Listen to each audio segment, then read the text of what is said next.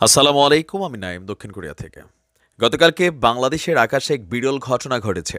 এই দৃশ্য কারা কারা খালি চোখে দেখেছেন, কমেন্টের মধ্যে জানাবেন।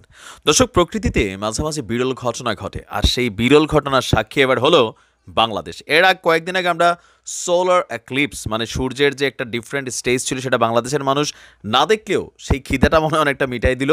এই গোলাপি চাঁদ, কেউ বলছেন ঝলসানো রুটির মতন চাঁদের কালার ধারণ করেছে।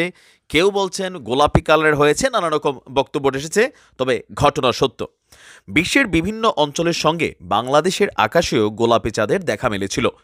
রাজধানী ঢাকাসহ দেশের বিভিন্ন অঞ্চলে দেখা গিয়েছে বিশেষ রঙের এই চাঁদ। আপনার এই চাঁদের ছবি অনেকে সামাজিক যোগাযোগ মাধ্যমে তাদের সেলফোন থেকে ক্যাপচার করে পোস্ট করেছেন। জানা গেছে বিশ্বের নানা প্রান্তে গত কয়েকদিন ধরে দেখা গেলেও বাংলাদেশের আকাশে তা গতকালকে দেখা গেল। গোলাপি এপ্রিলের পূর্ণিমার এই চাঁদের আরও নাম রয়েছে। সেগুলো হচ্ছে ফিশ মুন বা মাছ চাঁদ, গ্রাস মুন বা ঘাস চাঁদ এক মন অথবা ডিমের চাঁদ। এক একটা, এক এক কালারের মতো মনে হয়। আপনার সিএনএন এক প্রতিবেদনে জানিয়েছিল যে শুক্রবার ভোর থেকে সোম থেকে মঙ্গলবার পর্যন্ত আপনার আকাশে গোলাপি চাঁদে উজ্জ্বল থাকবে মানে চাঁদের আকার গোলাপি বর্ণ ধারণ করবে। এই বিশেষ পূর্ণিমাটি বেসিক্যালি মার্চ মাসে চন্দ্রগ্রহণের ঠিক এক মাস পরে ঘটে। এটি একটি মহাজাগতিক ঘটনা যখন চাঁদ পৃথিবীর কক্ষপথের খুবই কাছাকাছি স্থানে চলে আসে।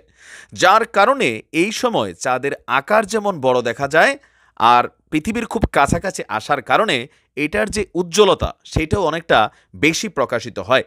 জ্যোতির্বিজ্ঞানীরা বলছেন যে এটার কারণ হচ্ছে পৃথিবীর বায়ুমণ্ডলে থাকা অত্যন্ত সূক্ষ্ম ধূলিকণা এবং বিভিন্ন ধরনের গ্যাসের শক্তির কারণে অনেক সময় চাঁদের রঙের দৃশ্যমান পরিবর্তন আপনার দেখা যায়।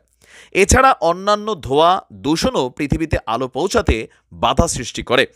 পৃথিবীতে আসা আলো তাদের নিজ নিজ তরঙ্গ দৈর্ঘ্য অনুযায়ী অনেক প্রকারেই বিক্ষিপ্ত হয়ে যায়।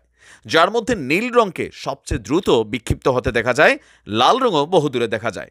আপনার এই কারণে যখন চাঁদকে পৃথিবী থেকে দেখা হয়, তখন বাদামি, নীল, হালকা নীল, রূপালি, সোনালি, হালকা হলুদ রঙের দেখা যায়।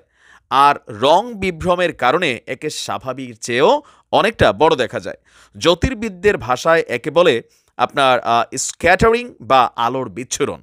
এপ্রিল মাসে যে পূর্ণিমা দেখা যায় তাকে গোলাপি চাঁদ বলে, যেটা বাংলাদেশের বিভিন্ন জায়গায় গত পরশুদিন বা গতকালকেও অনেকে দেখেছেন। আমি অনেকের ফেসবুক পোস্টে দেখেছি, এই ছবিটা পোস্ট করেছেন। তবে আমি আসলে কোরিয়া থাকি আমার দেখার সৌভাগ্য হয় নাই। তো যাই হোক, এগুলা নিয়ে আবার অনেক ধরনের কুসংস্কারও আছে। বৈজ্ঞানিক ব্যাখ্যা আমরা আপনাদেরকে জানিয়ে দিলাম। ভালো থাকবেন। আসসালামু আলাইকুম।